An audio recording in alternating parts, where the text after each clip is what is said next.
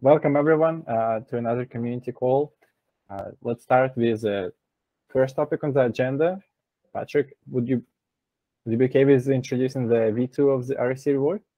Yeah, absolutely. So just a little bit of context here. Um, on Research Hub now, essentially tokens are distributed in like a very uh, V1 kind of way. Um, for every upvote a paper receives, the person who posted it receives one research coin.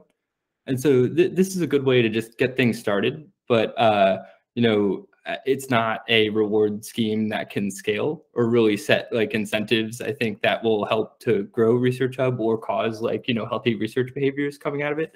So um, kind of like part of this project, we'll be iterating on the reward scheme forever because as like dynamics in the community change, as more people come in, um, different incentives are going to be at play. And so we always have to be conscious of like what we're rewarding and thinking about how to make it better. So that way we can essentially incentivize the community to be more effective as a whole.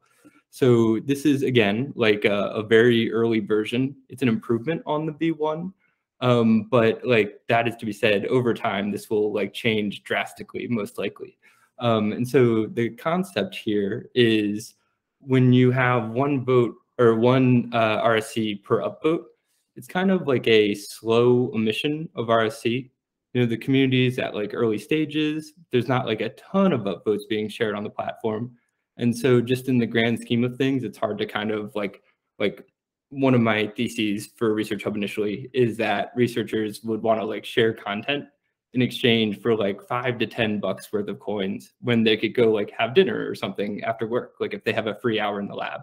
And so at the current like coins per upvote ratio, it's unlikely to happen because you'd have to get like what at three cents, like hundreds of upvotes on your post to be able to just go buy a beer or something after work. Um, and so the idea here is we want to essentially like have a predetermined emission of RSC. So we've talked a little bit about this like 5% per year um, type of number.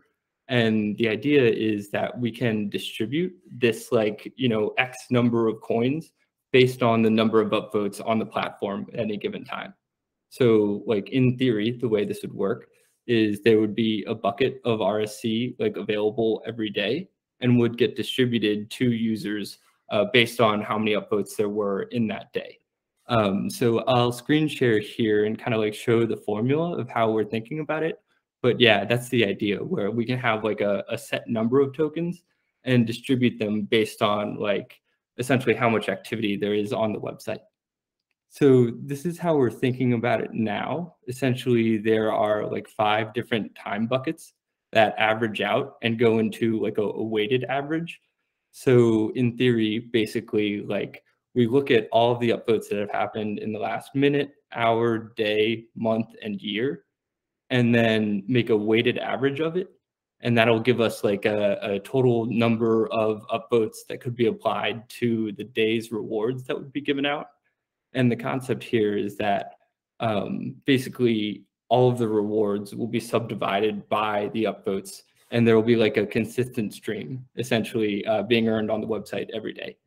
And so there are a couple of implications about this. Um, well, I think one other important part too is that initially uh, the people receiving the coins for upvotes were the poster of the paper. And now when you share a paper, essentially the authors of that paper will receive 75% of whatever tokens are given to the paper. And then the poster receives 25%.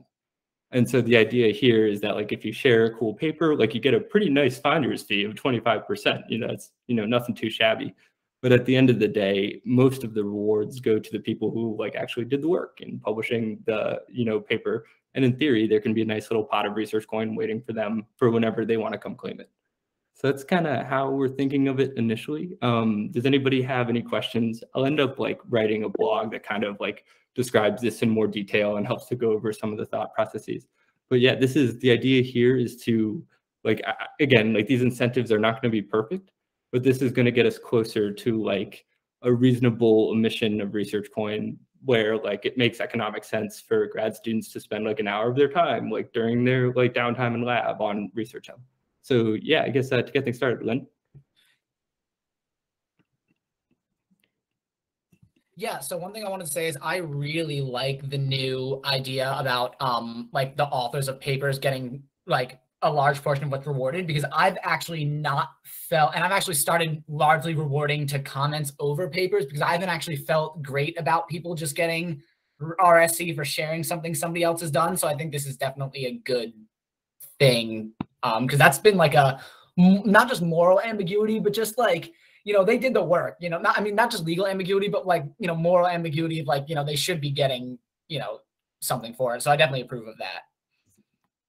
Yeah, thank you for saying that. I totally agree. It just makes it feel more legitimate. Like if the people doing the work are getting the rewards for it. Um, I guess, do you feel okay with the 75 25 split? Does that sound like a, an appropriate number? I mean, I'm okay with it. I, you know, I don't know if other people think it should be skewed even more, especially if comments are also getting rewarded. But, you know, I definitely think it's a step in the right direction. It has to be at least that. Yeah, what does everybody else think? We can always tweak it in the future, but this is kind of like a, a good first step, we think. Yeah, I think it's probably good. I think you definitely will want to tweak in the future, though, just seeing how it, you know, ends up and how it, end, you know, how much money people end up getting as a result of that. So. I think it's likely we'll try and like make a habit of revisiting it every six months or so and yeah. like taking everybody's feedback and saying, hey, what should we change? And like, you know, actually implementing those changes on like some kind of regular cadence. Uh, Nick? So I just I just wanted to clarify to make sure I got this. I think it's a great idea. So is that does that mean that if let's say I'm an author, I post or I wrote a paper, somebody else posted it, it got tons of upvotes. That RSC would be kind of held in escrow until I kind of claim that paper as my own.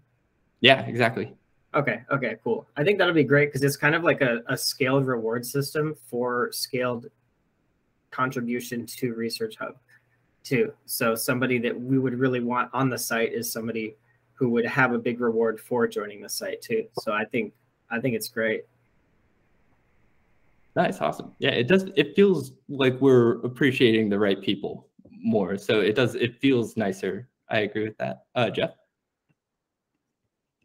Uh, yeah, just like um, obviously like the idea as well. Um, one thing that to keep in mind, I guess, would be like in terms of, and I'm not sure if what Research Hub has in place already for something like this, but like Sybil resistance. So making sure no one comes and starts, you know, spamming a bunch of upvotes or things like that. I don't know if we have anything in place already for that, but that's something I could see getting gamed.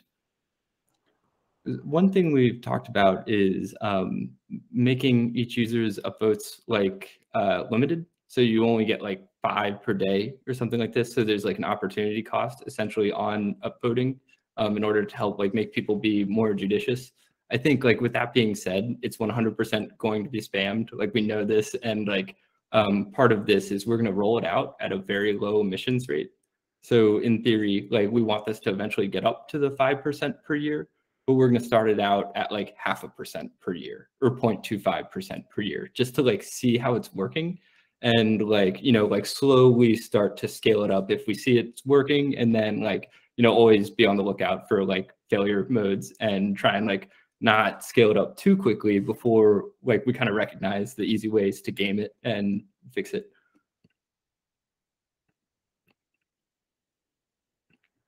Cool. So, so Anton's got an important question here. How, how, would the RSC be split among the authors of multi-author papers?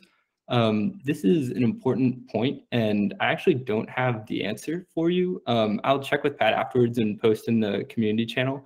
I think the way it's set up now is that it's split evenly between all the authors. So if there's like a bajillion authors, they'll all just get like, you know, one one thousandth or one one bajillionth of like the total coins. That that's not ideal either. Like in theory, right? Like the first author should probably get more and it should be like I guess like changed like based on contributions, but that feels tough to do. Um, another thing we can do is just like give it to the first person who claims it and then just assume that people will distribute to their co-authors on their ends. But um, yeah, it, we think it's probably safer just to split the pot among all the authors just to get started. Yeah, splitting sounds good.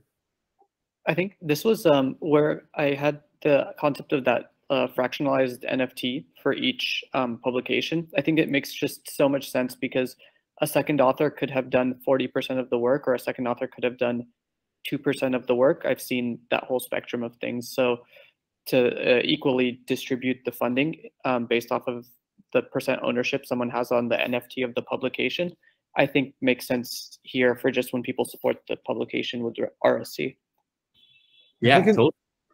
It can probably evolve in the future if we do pursue the NFT around and uh, in in the house uh, re- reviewing, right? Peer reviewing, we could introduce some sort of contract where when people submit the paper, they establish what are the proportions of the contributions between the authors and kind of like set it in stone or in writing or an NFT in, so that they consent to it. I don't feel comfortable tweaking it after the fact, right? Because they don't know, we don't know how they distributed the labor when they were publishing it. So probably just assume the easiest equal split, I guess.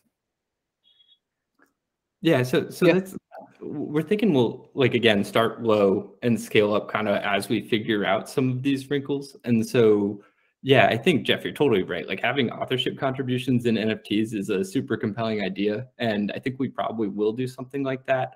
Um, we had a board meeting uh, last Thursday, and we decided the next feature we want to try and build is like incentivized peer reviews. And so NFTs in theory would come after that. So they're probably like three to six months away. And basically, what we want to do over the next six months is like dive into all the ways we could do NFTs and like think like deeply on like how to like actually do it the right way and make sure the right incentives come out of the V1. Um, so yeah, that is to say we'll start at like a very low rate and probably after six months, once we have more of the infrastructure built in to like do things like, you know, even more like appropriately, we can scale up the rewards to make sure that that actually happens.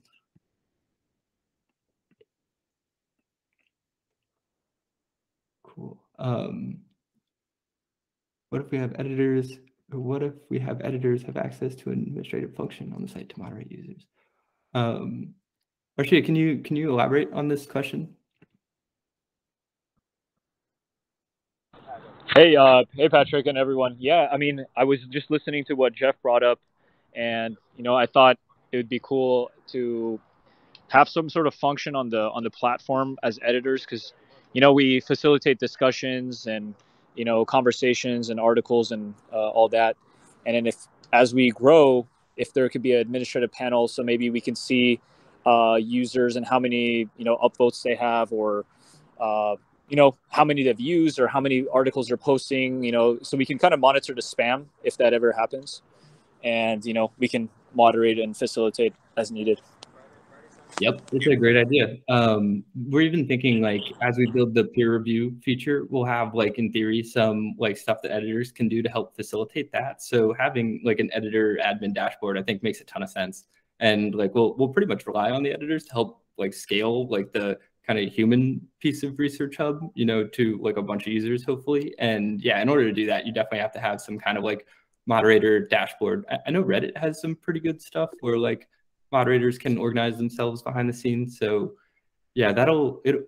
I- I'm not sure when that'll be in the roadmap, but we definitely like we need editors in order to scale. So we've got to give people the tools to be able to do you know their jobs appropriately. Nick. yeah thanks patrick Yep.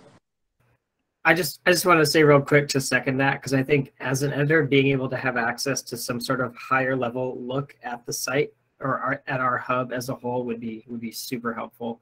Yeah, As just you know what any other user would see. It's a great point. Uh, we might be able to like do something more bespoke, like in the time being. Like we have metrics kind of for Research Hub as a whole, and we could maybe do some metrics like on a hub, you know, per hub basis, just to give people like ideas of like, you know, who's commenting, like who's like contributing or whatever. Um, I think there's like a 80-20 type of fix here that we could do. That's kind of like like a, a light lift or lift engineering wise that could hopefully give people like a bigger picture of what they're doing. I'll take that as an action item for that. Along a similar line, something that I would uh, really like to see is uh, sort of like a percentage growth. I think we already discussed this, like a like kind of like a growth of the hub. Like I noticed that my my hub like kind of grew in the the past month, but I didn't realize that uh, until I actually like took a look at number of members. So could be cool for an editor to actually like be able to keep track of that uh, and be like maybe my content is working or is not working. and that should also be kind of simple uh, to to to keep track. So we have something super lightweight now on the editor leaderboard. Like if you go to the leaderboard and then under editors, you can set a time frame and it'll show like time frame over time frame the change in the weekly active contributors in your hub. So if you do the last week, under your name, it'll say like active contributors up 10%. And so it'll do week over week, looking at the um, uh, basically like weekly active contributors. Let me take a look. Oh, it might be just me, uh, but I can, I'll share a screen here to show. So if I, I am on the editor uh, leaderboard, th this could just be for uh, moderators. So if you guys can't see this, let me know and I'll make sure that it gets pushed to, to everybody. But in theory, like uh, Simon shows up here, he's an editor of the Longevity Hub. Uh, this is looking from basically the past month. So over the past month, uh, the Longevity Hub has gone from, I guess like, you know, maybe 25-ish to 36, something like that, like 50% growth. Um, so yeah, that's that's basically like you can see time frame over time frame of. Yeah, I don't have it, so I don't know if it's just uh, because of the moderator uh, kind of role, but uh, I don't see it. Interesting. So, um, yeah, I'll ping I'll ping the engineering team and get them to push that so that way everybody can see it. Okay, so it's already solved. Thank you. yeah, definitely. Uh, does anybody else have any questions here uh, before we move on to the next thing on the agenda, just uh, you know, for the sake of time?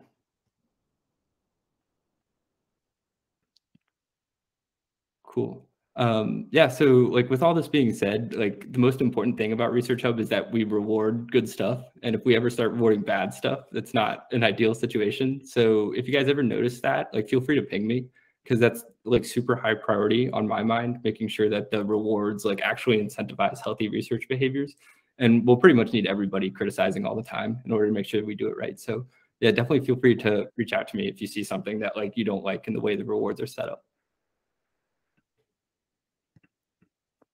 All right. Uh, so next up on the agenda, let's talk about Twitter Spaces uh, Malik and I played around with Twitter Spaces a little bit because several users have suggested to explore this option. And Malik, would, would you like to summarize our findings or should I?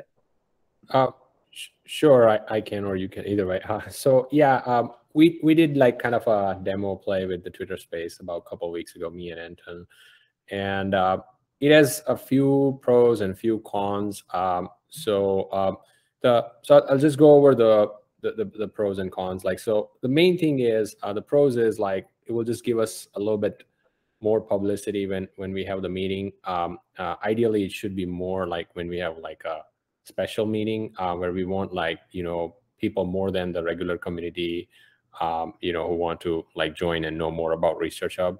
Um, the other thing is it is recorded. So um, if anybody wants to listen in on it, um, uh, you know, it's available for about 30 days afterwards and then it has a live script going on. So um, I mean, it's not perfect, but um, it does um, give you a written, um, you know, transcript of the discussion right as it's going on.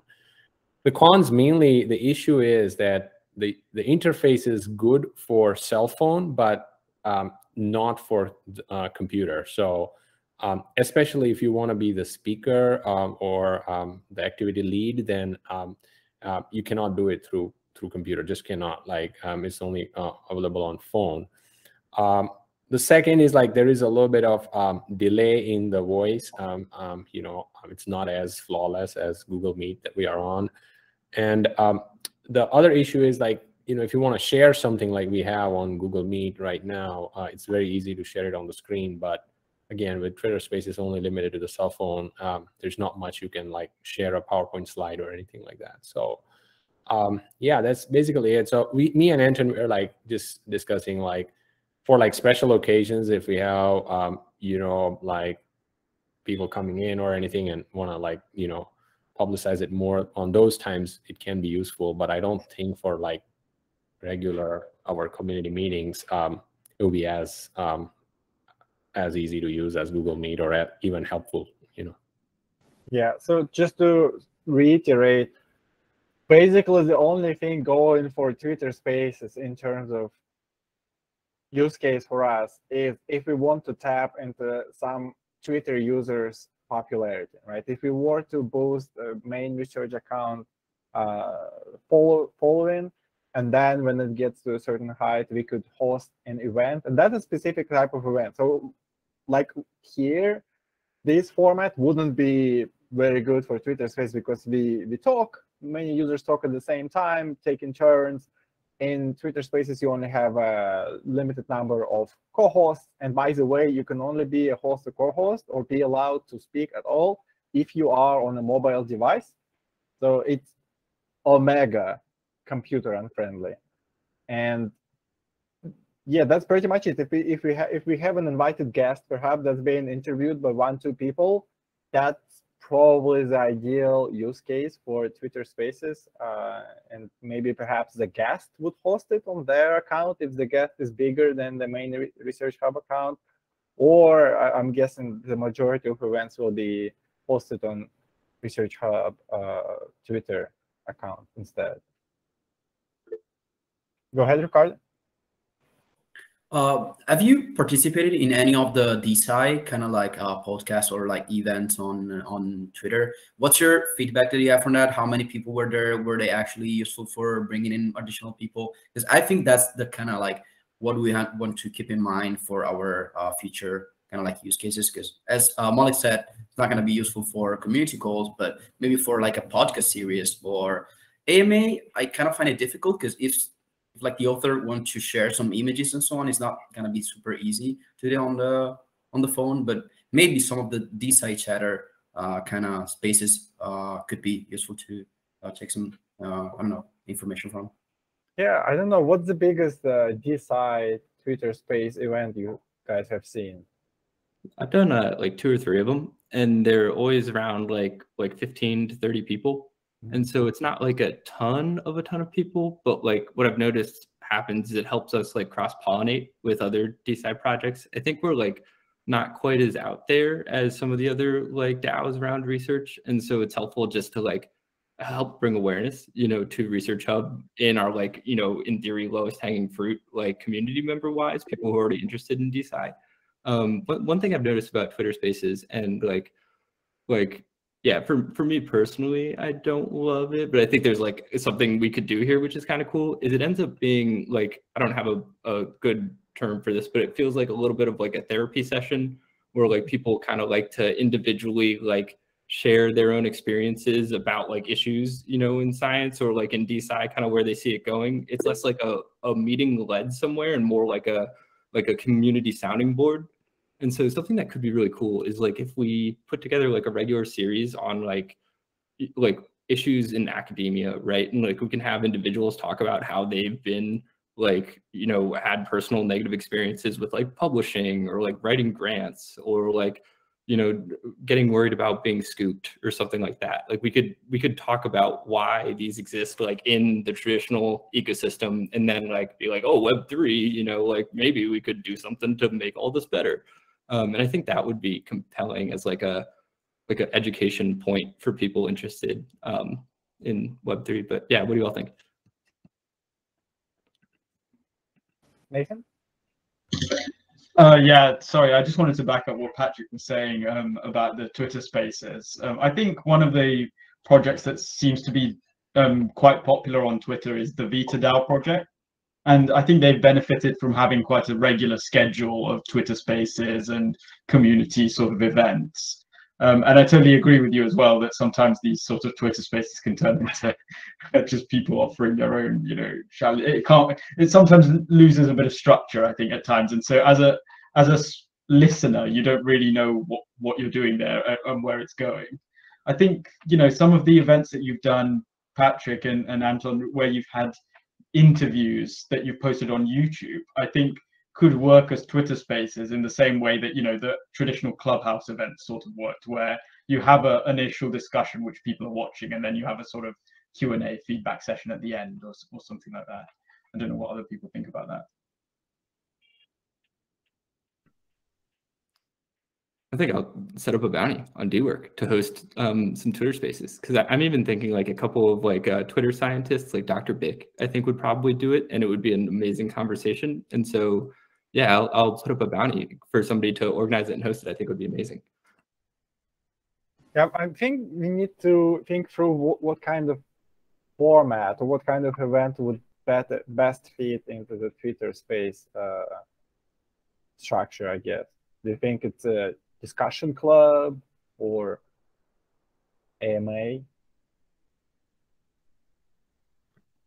Uh, yeah, I think like interviews describing the issues in science, like Dr. Bik, for instance, like she calls out like uh, academic like fraud, basically like image manipulations. And so just talking about like why do image manipulations happen, and then you can get into perish or publish, and then you can say like like you know how the incentives in science are set up in a way that like kind of causes people to do this sort of bad behavior, and then she'll research hub at the end. But yeah, I think I think interviews is probably a good one where we can even bring in people outside of DeSci, like cool cool scientists who have audiences like on Twitter already. I think would be really cool. Yeah, I, I agree with what Patrick said. I, I I think if you were to look at the discussion format versus the interview format, I think a discussion format works much better on an event like on a platform like this where everyone's sort of joining the discussion and there's a structure and there's like a meeting format and everyone knows what they're going into beforehand. As because twitter spaces just by design mean that people join in and out for quite a while. No one sets aside an hour necessarily. So they'll be there for five minutes. They won't really understand where they are in the in the discussion otherwise. And so i i think that sort of interview format works a little bit better. And i, I completely agree that um, at least in the world of medical research and in particular you know cardiovascular research that i follow um, they are very very keen on discussions on twitter. Um, it happens all the time and i'm sure sure you'd be able to find many many people to get involved in that if you wanted to. Yeah that sounds like a wonderful out of the box Dework bounty, right? So perhaps better structured for a person who would do the entire process from start to finish, right? So they would identify the key speaker, invite them, then host the meeting, then perhaps share the recording. And that would be the bounty.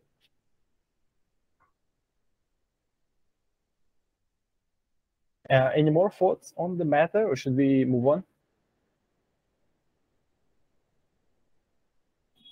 All right, let's talk about the ELN. How can we make the ELN more robust? What kind of features do you guys want to see in ELN uh, to make it more compelling for you to use it more frequently? then we can also talk about how we can support the users who already use ELN and publish stuff. Maybe perhaps we could announce it on Slack better, tweet about it, make Reddit posts about it. For example, the uh, the C-line post that uh, was more or less recently posted. Yeah, I think one important piece of context here too is that Thomas uh, pushed the ability to add DOIs to ELN publications last Friday. So, like in theory, Research Hub can kind of act as a preprint server now. Um, we'll build in peer review next. So, yeah, we we in theory like can have people like publish like manuscripts through Research Hub right now, which is kind of cool. I, I think for the ELN, what um, I mentioned this to Patrick uh, but something like a better like categorization system on the left panel um, because for now i have just this like running list of a bunch of like separate documents that i've been piecing together. Some things related to my research some things related to other topics. Um, so i think just maybe some folder system that allows you to bucket some of your uh, broad ideas together. And then um, like a, I think after that gets kind of organized better a citation uh, tool uh, integrated into it would make it pretty robust. Yeah, thank you, Jeff. Those are great suggestions. Um, I bounced your, your folder idea off the team earlier today, and they're definitely thinking in that direction to help make it like actually useful. You know, if you have like a hundred different notes or something in the ELN. Lane, you had a hand. It was a mistake. Okay. Is anyone actively using ELN now? I'm gonna be honest. I didn't even know that was a thing um, until this meeting. I didn't know we had one. I was not sure that the DOI feature is already implemented. Uh, there should be an announcement. I think that's a big deal. Yeah, yeah just yeah. the the posting one. No, the the DO one. I didn't realize that. So yeah, definitely putting out something to, to explain that. Also, I think we made a couple uh, changes to the the formatting. Now we can add like videos and stuff. I've seen it uh, when I published uh, the last uh, the last piece. Also, I use it a lot as a kind of like a notebook. So like before posting comments, because like sometimes we have some bugs, and uh, as we already uh, put it in the Slack, maybe you refresh the page, you lose the comment, and so on. I normally write all the comment in the in a notebook in an ELN, and then I just like copy and paste it on the on the on the main page. So it's kind of Oh yeah, I do that with my comments with a word processor because yeah, I've lost comments before, like early on. I was like, that's not happening again. Yeah. So yeah, it's super useful to to use it like that. So I kind of like open two pages and use it as a yeah as a notebook. Anton? Um, yeah, I um I, I think from from testing it, um, there is some issues with uh, math type. I think. Um, so I think it would. I think I can only add formulas just like in a separate uh, line, but not inline. And um, and in general, I, I also actually use it a lot for note taking. So um, yeah, um, it would be cool to maybe have like a feature of maybe also saving papers, like uh, making a reading list in the ELN or something. Because right now I keep track with a table or something of things. Um, and um, I think that it would be also cool to have the op- opportunity to export to PDF. Um, if we have, I don't know how it's being done in the backend. Um, depending, I mean, the coolest would be if it's like almost same like LaTeX or something in the backend, and then we could also make it like HTML friendly for the future. Um, but right now, I think what would be helpful is if I really legitimately write big documents on there, and I want to share it with my professor, I am a bit more hesitant to send her the link to the research hub. Um, but right now, sometimes it would be also great to introduce people by exporting to PDF. Yeah, that's a great suggestion. I think PDF export, we definitely need to have that. Um, so I'll add that to the list to report back. And then a couple of people have mentioned like ways to uh, kind of manage like different papers within the ELN. Um, one thing we talked about during our board meeting too is like just like strategy wise, Research Hub's in kind of a weird spot where it's essentially a social app right now, but we're asking like professionals to spend their free time doing professional things on a social app without like the ability to get hired for a job or like really like earn grant you know funding. And so we want to in theory build like a way to get research hub more like into like the average academics workflow without them having to do something like outside of like what they're already doing day to day so we mentioned this a little bit earlier but like building a citation manager that essentially like when you use it you're earning rsc for using it and then like the data you input like through the citation manager can be reflected on researchhub.com for instance like if everybody's saving this new paper that's really cool about like pluripotent stem cells that paper could go to the top of researchhub.com without people upvoting it um, just based on like citation manager usage and so um, yeah we're gonna start to make designs on this just to like start to think about it from like if we were to build it what would we want to do so yeah, if anybody has any thoughts on like a citation manager and how to like roll something out there that could be useful to help like bring new people into Research Hub, uh, definitely like keep let it percolate in your brain because we'll be thinking about it a lot over the next like probably two to three months.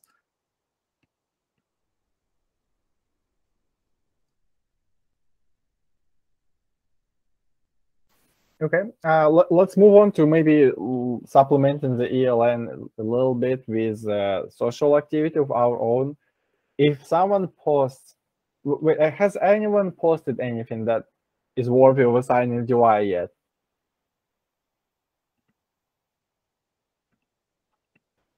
I hope to kind of finish my perpetual review one number one as soon as possible, but it's taking longer than expected because it's uh, some work. But yeah, I hope to be able to do that soon. So that will probably be my first experiment. Okay, well that that's a great example. What do you all think we should do when this uh, when this is released? Should we tweet about it? Should we go all comment on it? What other ways we can support this little in the house uh, publishing? Anton? Um, okay, maybe not. Yeah, I mean, it, it is kind of with supporting. I, I'm wondering if you post this ELN and you make a post in terms of versioning, how this would work, right? In, in GitHub, we have pull requests and um, we, we can make issues or whatever. And how would this how would this go with publications right now? with the ELN, people can comment. But for instance, if they want to add something to Ricardo's perpetual review, right? Um, I forgot Ricardo detailed a lot of that stuff in this post, but um, they get rewards for adding stuff. And how would that work? Do they comment and when Ricardo edits his own post in the next iteration, or? So this is something we're actually building now as part of a peer review feature. We're going to have version control within the ELN. So like you'll be able to essentially like have like version 1.1, 1.2, et cetera, be able to track all the changes. And then we'll eventually plug peer review in where you can see like a peer reviewers comments between the changes of like version 1.3 to version 1.4. And so there's probably a way that we could use this within like Ricardo's perpetual review paradigm of like keeping track of like the versions and like who contributed what to like each like additional version we're we're thinking about it like very similarly to like GitHub issues essentially. Um, so it'll end up looking kind of like GitHub where people like you know make suggested contributions and then whoever like owns like the repo would be able to accept them, reject them, that kind of thing. Um, but yeah, we'll, we'll probably need to iterate it or iterate on it a lot. But there's right now we're starting to build out like some kind of version control in the ELN. Uh, another feature that Thomas was excited about was like inline commenting in the ELN. So like kind of like Google Docs, where if you want to like comment on someone's notes to give them feedback before they publish it like publicly, um, having some kind of like interactive ability there. So um, yeah, that's just another feature that we're thinking to make the ELN more robust. I'm a fan of uh, inline commenting, but I think you already said that you tried it out, but it was like a kind of some problems with that. But so, yeah, I would the problems before were from rendering PDFs inline. So like we could like take text from PDFs in theory, put them into our web page um, in order to work with like our inline commenting like uh, feature. Essentially, you can't do it in the PDF itself. And so PDF extraction is a hard problem that nobody's solved yet when it comes to like machine learning.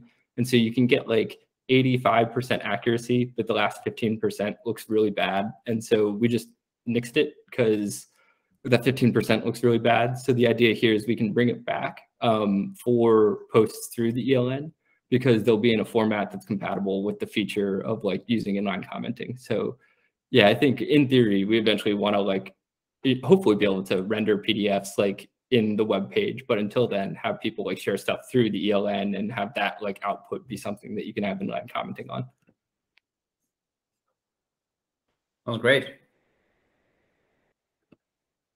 really excited about the version control. I think that's a unique value proposition, right? That currently doesn't exist. The reviews are not open. the changes that are implemented are invisible for in the final product.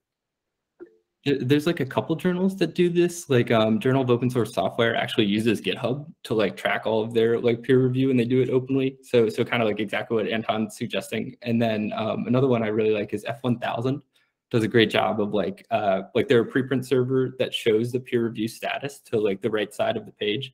They have a pretty interesting UI. So there are a couple people I think doing this, but I agree this is probably how all peer review should be done. Anton?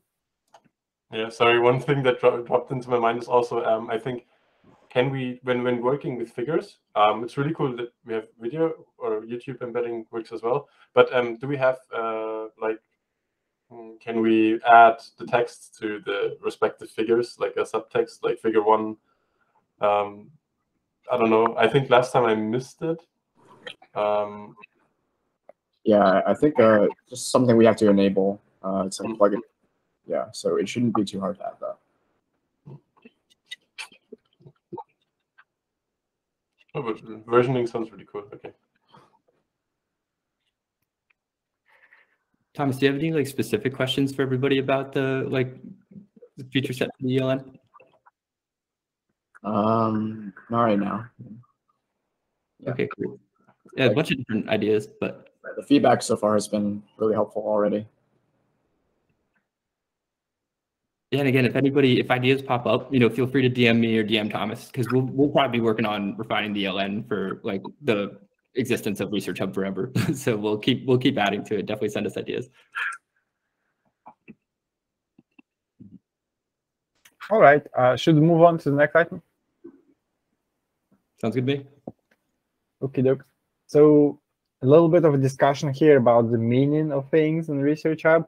I don't know if you have encountered the situation, but sometimes when I tell people about Research Hub and they, they get a little bit confused about uploading papers, and some people instantly assume that you you can only upload something that you own, right? Something that you have published yourself. And even if you have published it yourself, the, some people are not clear on whether you're allowed to publicly share it uh, like that or not. So it, it takes a little bit of uh, describing to let them know that it's not you're not actually claiming what you are you, you you are posting right? You you are highlighting it that like it's you see it's even awkward to describe what exactly are people doing when they upload papers on the research hub. Not even uploading but create entries for research hub.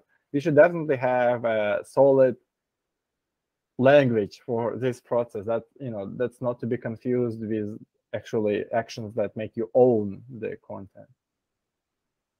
What do you all think? How, how should we differentiate between submitting your content and kind of highlighting someone's content? So I think this is a super important distinction, and I totally agree. Where like kind of the way that we have things now, like the user's profile picture, like on like the the post, it it sort of like intuitively suggests that they're the author, and so I think there's some UI things that we can do to help make this like more like clear. Um, I, I also think at the end of the day, like as long as most of the value is going to the author, like that's the most important thing um, and so, yeah, hopefully this new incentive structure is like a, a good step in the right direction here. But yeah, I guess so there's there's UI changes we can make to help make that delineation, you know, more clear. But then do you, do you all think there's like some instructions we need to add, like when people post, like how's the best way to help to to clear up some of the confusion around like, can I post this paper? Shared by, I like it. Yeah, shared by is good. That's a that's a good idea. So I guess what one aspect is how how is the poster viewed on the user interface when they post or share share a uh, you know an article that they didn't themselves author. But then I guess the other thing is that we should maybe put more emphasis on the actual authors and in some way display if we can where they're from, who they are, what their background is, if possible. Because you know, within a, a, a fame, within a hub, within an area of interest, you've got some of the same names coming up, and maybe there should be some ways of you know being able to easily link to other posts on Research Hub that are linking to papers authored by the same person, if that makes sense. So, so are you suggesting like at this part of the paper page, we change the UI to put more of the focus onto the authors and their background? Like maybe have these like be able to be clicked into and see more about them?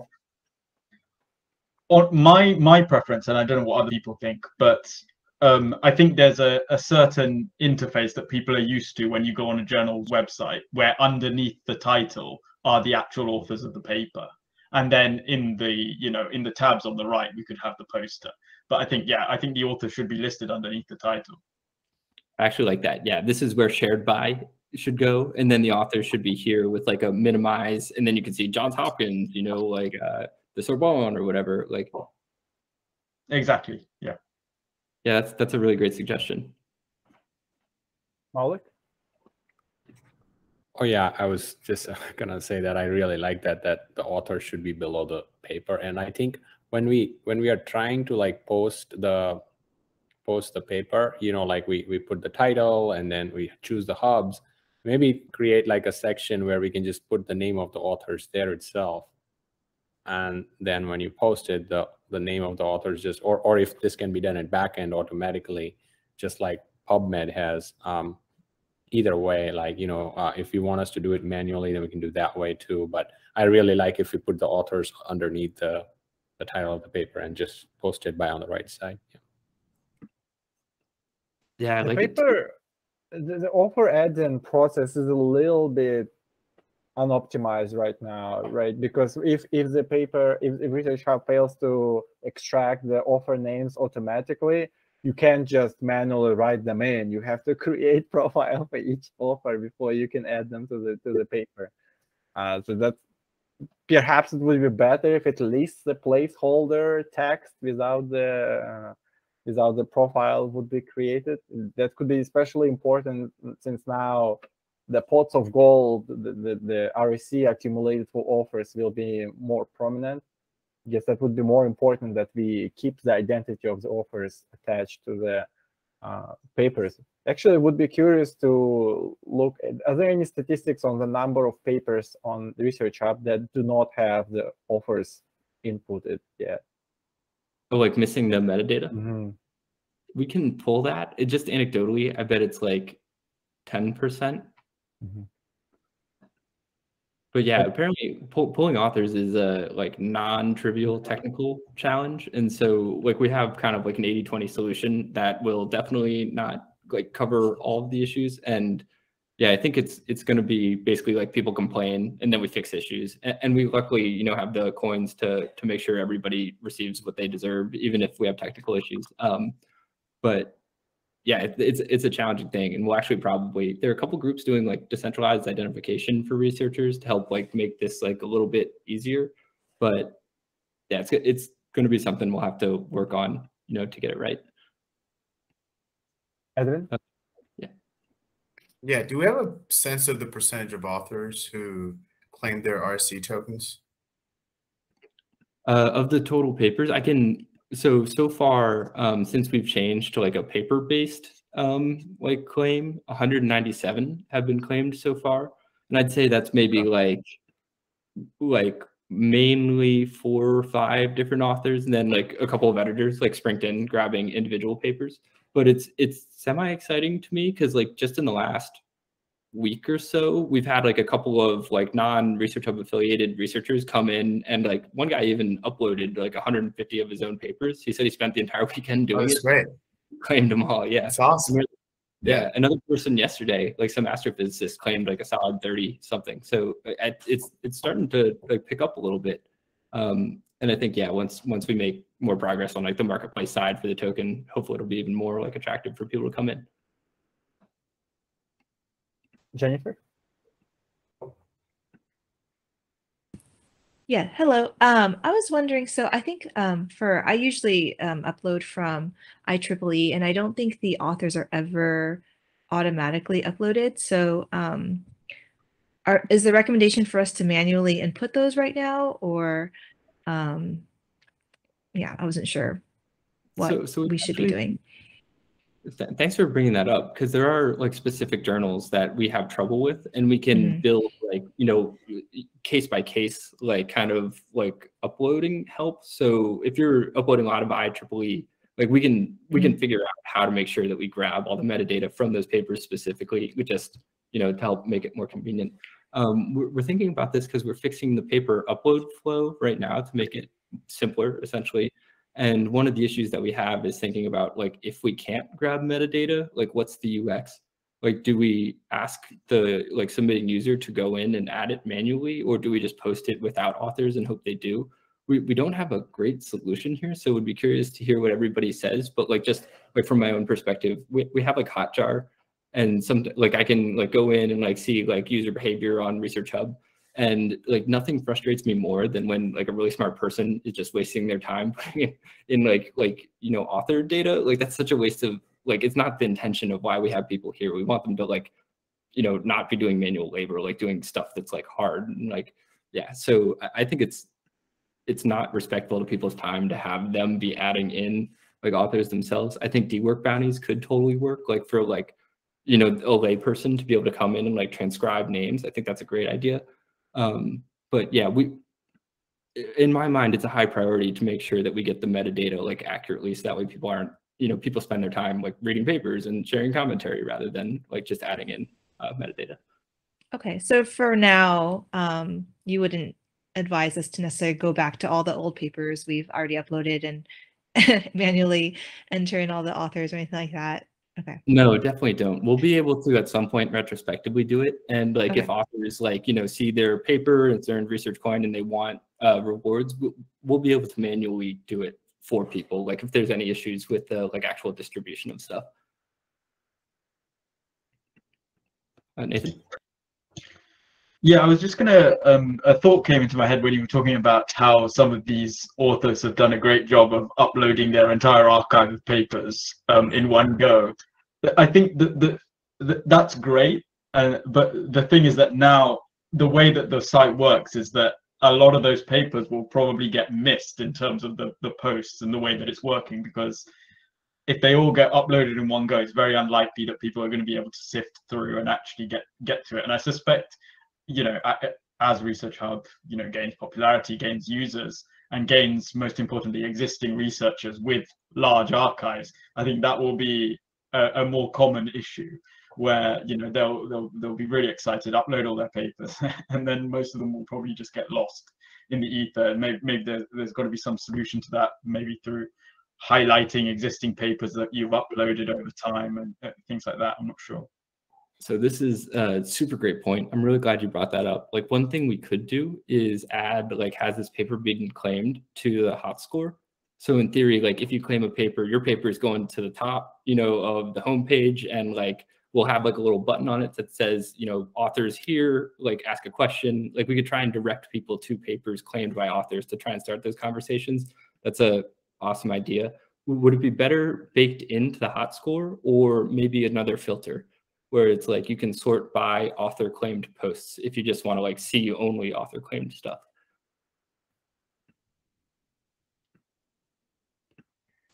Ricardo? Yeah, that's that's a great point, Nathan. I, I think another uh, cool idea could be when we are actually going to uh, create some content, some original content on Research Hub, and maybe tagging some papers that are already a Research Hub, uh, maybe bringing them up again. Let's say you make a review uh, by tagging some papers, they come up again. So you're gonna give life to the papers again, and you kind of like bring them up.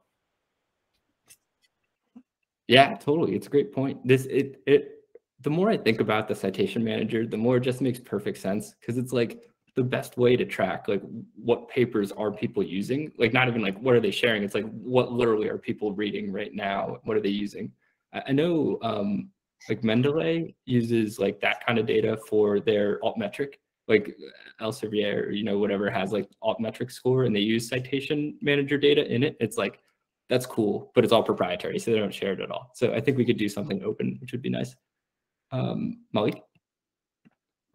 Yeah, I was just gonna mention a point about like when you mentioned that how we can how if authors have claimed then that paper would show more on like the oh like if you can sort it that way. But the other way to sort that I still haven't found on Research Hub is like yeah, if I post a paper today that was published three years ago, you know, it's still showing in the newest.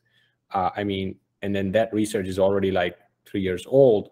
Um, not that that makes it necessarily good or bad, but at some point, you know, that data is getting outdated. Um, and um, you know, if I if I post my paper that I published in undergrad that's like 10 years ago, then um, you know, there is more data that has come out since then, and I think Research Hub can benefit from those latest papers more than my paper from that time. So there's some way to search that, you know, like, like let's say disease pemphigus to the latest research comes up first, um, or at least you can sort it that way, you know. It, it reminds me of like DOAJ, it's like the open access search uh, um, kind of engine. You can search by like most relevant or like most recently published. Um, yeah, I totally agree. I guess like same question, should it be a filter or should that just automatically be counted into the hot score? Like where we just try and have more recent papers up at the top. I, I was just thinking filter, but I mean what everybody whatever everybody thinks. I mean yeah. Oh, sorry. Nathan? Yeah, I just wanted to share a uh, an idea that I had partly related to this and then also a content idea, see what people think.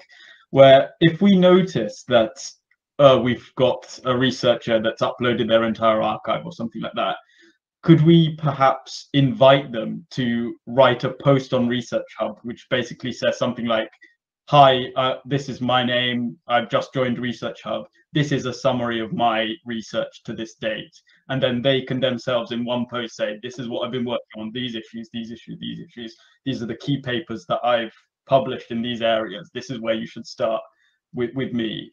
And then invite people to ask them questions. I think I think that could be a really great way of celebrating someone coming onto Research Hub sharing their research with them, and then letting them signpost people to the most important papers they've published, rather than you know leaving it to the algorithm or whatever. I, I think that could be quite a cool idea. I, I don't know what people think.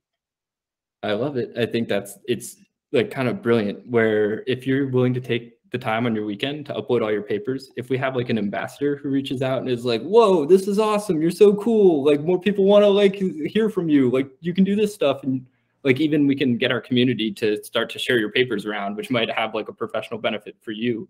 Um, yeah, this is awesome. I'm I'm thinking like with Jeff and Ricardo are working on like a, a structure of like working groups where we can start to help to like uh, organize like some more individual effort when it comes to like managing some of these like sort of outreach tasks. So I'm thinking like a, a working group that's almost like community relations is the wrong word, but like a like a welcome party to like help make like new people on Research Hub feel engaged, like reach out to them and be like, this isn't just an app, you're part of a community now. Here are the people, like we all want to help you and stuff. Like I think that's a, a really cool, like positive, like community feeling thing. Um, so yeah, we should totally do a working group on that. I think we should also issue them an NFT.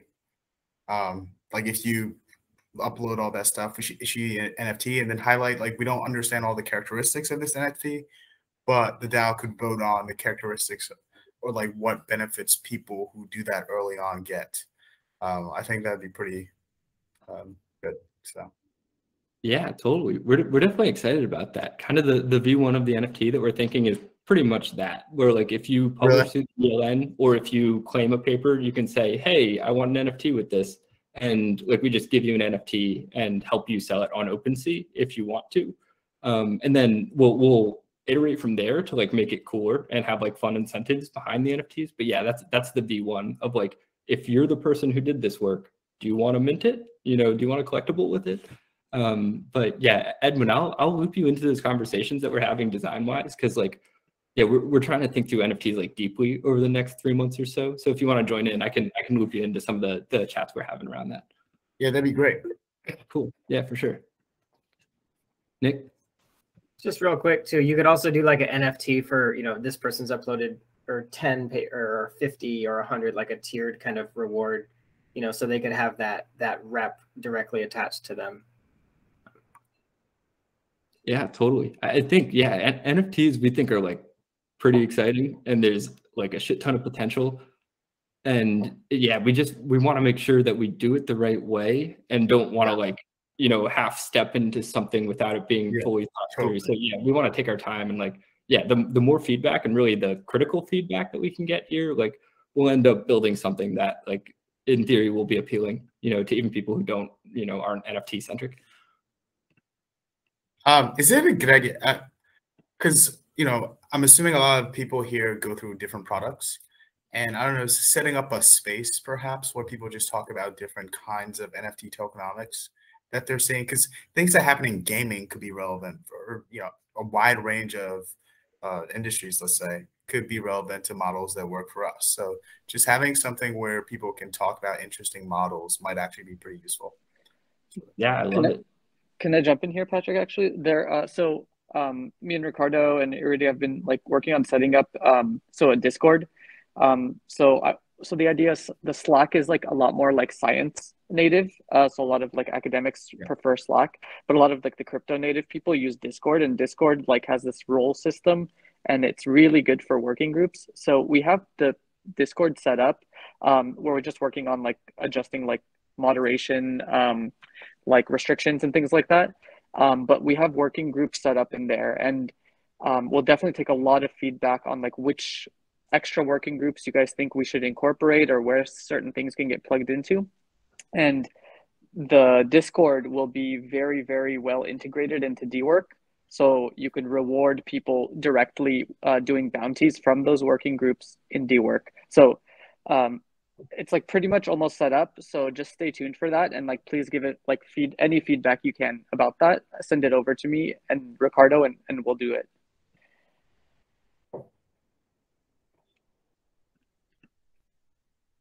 right we are a little bit over an hour now uh, we haven't talked about the upvotes downvotes and the editorialized title yet but perhaps a longer discussion here is warranted do you want to yeah Mhm.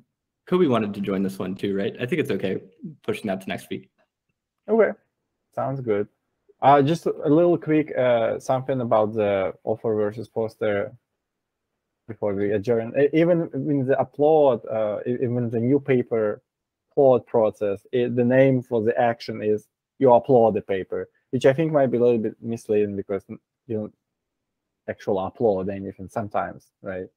Maybe share, but share also implies that it's yours to share. I think share is a big improvement over upload. So we Yeah. can do that, and then we can we can go from there. But share is more like, hey world, take this, Mhm. you know, rather than like claiming ownership. Yeah all right. Any final thoughts before we adjourn the meeting? I like the energy of this meeting more than some of the other ones. So it's good stuff. Yeah, this one's been amazing. There's so many good ideas that came out. Thank you guys. Thanks everybody. This is yeah, pretty, pretty like exciting in general. I must have missed the toxic ones.